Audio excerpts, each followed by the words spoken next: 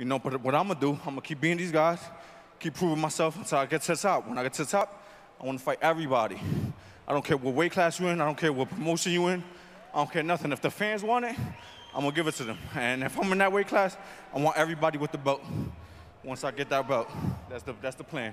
You know, I'm here to be a legend.